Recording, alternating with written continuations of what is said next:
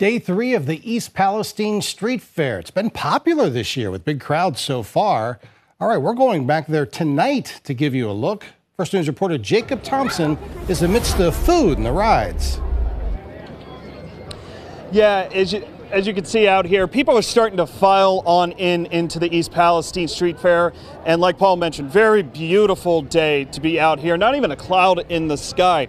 Now, joining me now is Roberta Brittain. She is the secretary with the chamber. Tell me, people are thinking about coming out to the East Palestine Street Fair. What can they expect if they come out here? They can expect a lot of fun. We have games, prizes, food vendors, a lot of rides, a lot of blow up rides bands. We have live bands every night, and we also have a $5,000 giveaway.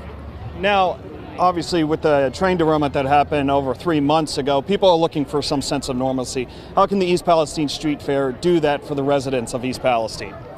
Well, it's nice to come down. This is a familiar street fair. It's been in existence for over a hundred years.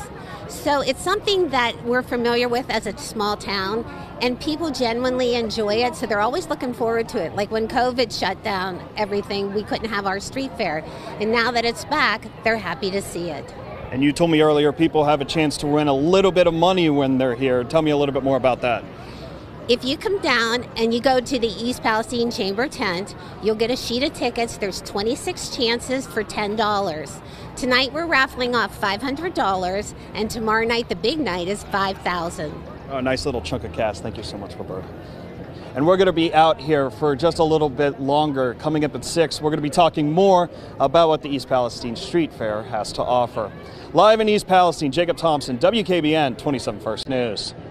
Hi everyone, I'm Lindsay Watson. Thanks for watching the WKBN 27 First News YouTube channel. If you want more video news, subscribe to our channel and don't forget to download the WKBN 27 First News app for breaking news alerts.